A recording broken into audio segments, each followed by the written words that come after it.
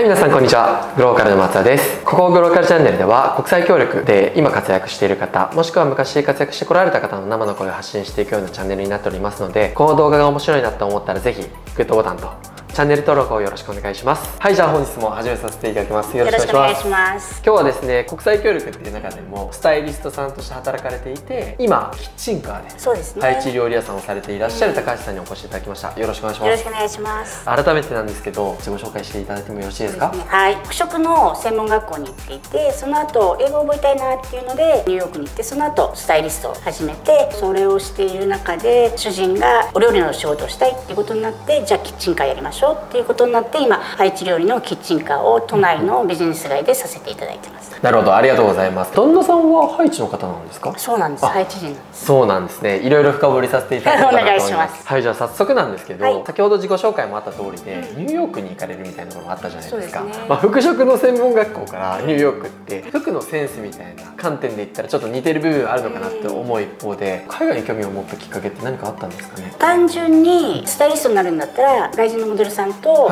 お話できないといけないんだろうなっていうのがあってもともとものすごい英語が苦手で勉強しても全然ダメで、じゃあもう3歳の子も喋ってるから現地に行って環境に慣れた方がいいんだろうなと思って、ニューヨークに行くことになったんです。なるほど。専門学校卒業してすぐですそうですね。結構勇気ありますね。当時のニューヨークだったんでものすごい治安とかが悪くて親にも反対されましたね。ああそうなんですね。ダメだっつって。なるほど。ちなみになんですけど、うん、そもそも高橋さんが服飾とかスタイリストに興味持ったきっかけって何かあったんですか？単純にお洋服が好きだったってことですよね。あじゃあもともと服が好き。そう。ファッションが好きっていうことがあって専門学校行かれた。そう。じゃあ服飾の専門学校行ってその後卒業してからニューヨークに行くわけですよね。はい。ニューヨークで目的は英語を学ぶみたいなところが主体だったと思うんですけど、実際どうでした？初海外でした？そのニューヨークに行ったその前に学校から一応研修旅行みたいなのでパリロンドンみたいなのが行ってたんですけどそね、それが時期が悪かったのか、うん、友達がロンドンに結構住んでたんですけど、まあ、そこで友達にも会ってたんですけどその時ってやっぱりヨーロッパがおしゃれ。ニューヨークってまだそんなファッションっていうあれじゃなかったんで、はいはい、みんな本当ならファッション系の人はヨーロッパに行くんですけど、うん、クリスマスだったからでしょうね。ものすごくつまんなかったんですよ。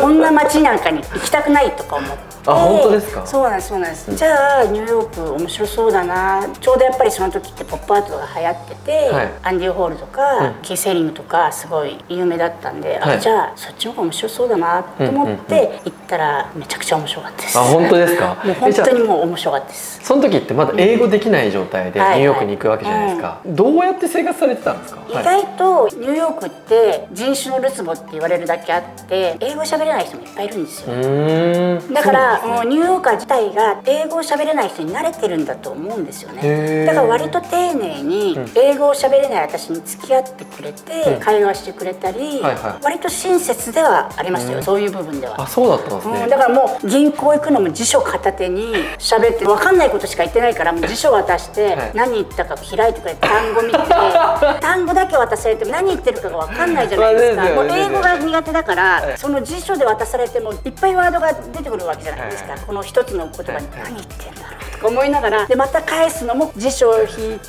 答えなきゃいけないから、そうめちゃくちゃ時間がかかってるんですけどでもすごい親切に相手してくれてましたよ皆さん。昔はスマートフォンなんてなかったですね。ないですないです。めちゃくちゃ大変ですね。めちゃくちゃ大変ですなるほどそうなんですね、いろいろ聞いてみたいんですけど、はい、ニューヨーク自体は何年ぐらいいらっしゃったんですか、う3年だけですね。3年ぐらいか、うん、で3年ぐらいいてどこに住まわれてたんですか？最初ねグリニッチビレッジっていうダウンタウンに住んでたんです、はい、で割と閑静なところ。はいはいはいマンハッタンからどれぐらいですか？結構マンハッタンの中です。あマンハッタンの中にマンハッタンのマンハッタンの中に住まなきゃ意味ないじゃないですか。ね、だだってそのために行ってんだそっか。そこで住む時ってどういう形でやってたんですか？共同生活みたいな、ね、そうですそうです。ニューヨークってやっぱり当時から高かったですよ。たまたま行った不動産屋がルームシェアのところだったんですあすごい。全然わかんないけど。すごい。そう。引き当てた。そう引き当てた。だから持ってるんですよ。はい、はい、まあ2人ルームメイトがいて、うん、で私が入ってて。でもその1人もモデルさんがお仕事でヨーロッパに行くと。その間貸してあげるっていう半年かな3ヶ月かななんかの契約で入ったんですよ。あそうなんですね。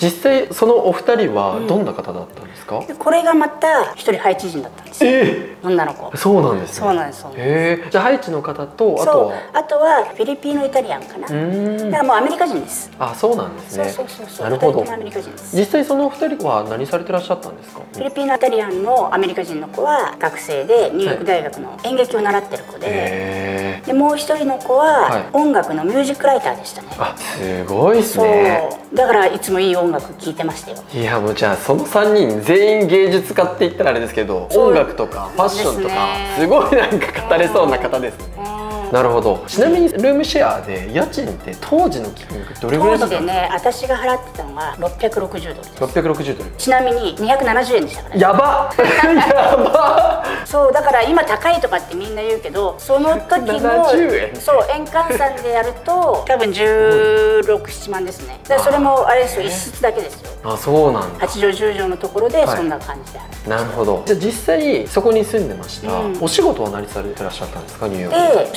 喋れないから当時 OCS ニュースっていう日本人向けの在住の人の新聞があるよっていうのを聞いて OCN ニュース？OCS ニュースだったかなってい。うすごい日本人向けの？向けのごい在住の新聞があるよって聞いてそこに求人とかあるよっていうのを、私名古屋出身なんですけど、はい。名古屋の友達がニューヨークに行って、はい。なんで出会ったんだろうそのことその子から教えてもらって、すごいですね。それ見て、はい。レストラン探してはい。行きました、そうなんだ、うん。あじゃあニューヨークに行きました。ニューヨークに行った後は、まあ、英語を使うことが目的なんで、ええ。働く場所は日本食レストランで働かれてたそうですね。日本食レストランってお寿司とかですか？とあと和食。んだかうん。らチキンテリヤキがやっぱり人気がああって。ーですよね、うん、チキンテリヤキって何みたいな そんな料理食べたことないけどっていう話なんですけど、まあ日本でね。まあそうそうそうそう日そうそう。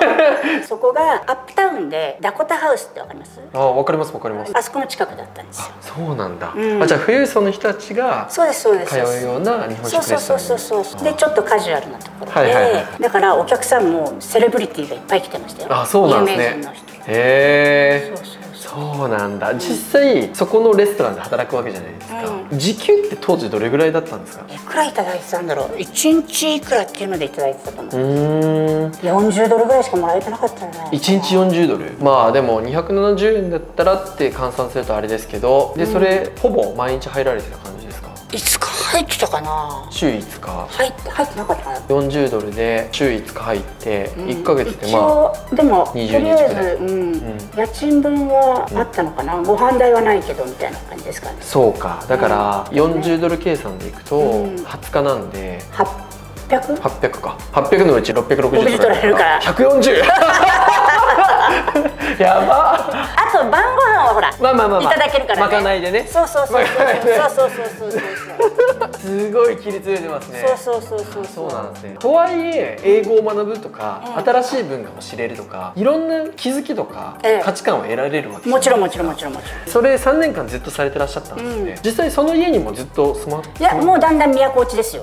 お金なくなっていくからはいはい。貯金も使っていくから、うんうん。どんどんどんどん都落ちていくあそうなんですね、うん。え一番最後はどれぐらいの金額感のところに金額で言うとはい。上がってます、金額は上がってるんですか、うんだからルームシェアじゃなくなってああなるほど。次のところははい。ちょうど日本からうんうん。友達が来たからじゃあ一緒に住もうかっていうので旦那も一緒に住むことになって3人で住むってことになってそれがワンリビング、ワンベッドルームで1200ドルだったかな、うん。あだからでベッドル 1LDK ームを彼女に渡して、はい。ワンリビングを私たち2人が住む。そうなんだ。そうなんです、きっつ。まあ。でもだって1200ドルですそうか1200ドルですよね、まあ、当時だから270円の時代でニューヨークにいらっしゃってマンハッタンででも、うん。私がいる3年間ではい。帰る時に150ドルに下がっあただから私が多分専門学校に入った頃が2年間で360円の時代から270円になってすごい円高になった。ってはい。ででそっからツアーですよ。あそうなんですね、